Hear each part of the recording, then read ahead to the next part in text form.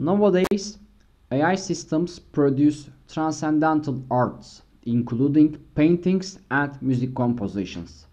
Herein, MIT AI and Deep Learning professor Lex Fridman raises an issue about copyrights of AI generated arts. He questioned that who will own the copyright of an image generated by neural networks. Owner of the dataset that neural networks was trained on, the designer of the network architecture, the person running the code, or AI system itself.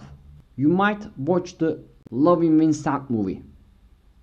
125 artists come together and painted 65,000 Van Gogh style oil paintings on canvas in a manual way to produce this movie. At this point, AI systems are as talented as these artists. A deep learning technique called artistic style transfer empowers us to produce that kind of paintings too. Style transfer enables to transfer the styles of famous artists and famous portraits to ordinary images. Consider the Starry Night portrait. It's one of the most famous work of Vincent van Gogh. We can transform this building photo to the style of Vincent van Gogh. This approach can also be applied to the videos because a video consists of almost 24 images per second. Let's turn back to the question of Lex Fridman, Who will own the copyright of this art? Neural networks is trained with this original video.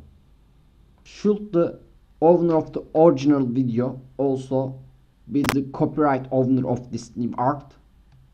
This new art might be based on this video, but it's totally different. Copyright match tools cannot find a similarity between the original video and style transferred one. Secondly, should the designer of the network architecture be the copyright owner?